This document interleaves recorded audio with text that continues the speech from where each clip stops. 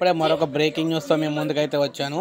So పెన్షన్ల పంపిణీకి సంబంధించి ఇప్పుడే ఒక తాజా సమాచారం అయితే ఇచ్చారనమాట మొదటి రెండు రోజులు కూడా ఎంపిక చేసిన ప్రాంతాల్లోనే పెన్షన్లు పంపిణీ. అంటే ఎంపిక చేసిన ప్రాంతాల్లోనే పెన్షన్ల పంపిణీ అయితే ఉంటుందని చెప్పేసి మనకి ఇప్పుడే అప్డేట్ అయితే రావడం జరిగింది. మొదటి రెండు రోజులు కూడా ఈ ఎంపిక చేసిన ప్రాంతాలు ఇస్తారంట. జనవరి నెలకు సంబంధించి పింఛన్ పంపిణీని విడతల వారీగా అందించనున్నారు. ఒకటి నుంచి ఎనిమిది వరకు కూడా పెన్షన్ల పంపిణీ చేయనుండగా మొదటి రెండు రోజులు ఎంపిక చేసిన ప్రాంతాల్లోనే వైఎస్ఆర్ పెన్షన్లు అయితే పంపిణీ చేయబోతున్నారన్నమాట.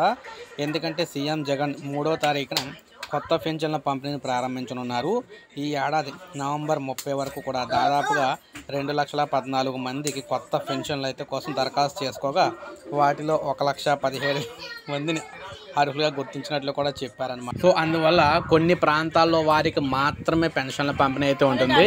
మిగిలిన ప్రాంతాల వారికి అయితే ఉండదన్నమాట. ఇప్పుడే మనకు అప్డేట్ వచ్చింది. ఒక లైక్ చేయండి సబ్స్క్రైబ్ చేసుకోకపోతే మన ఛానల్ సబ్స్క్రైబ్ చేసుకొని ఫాలో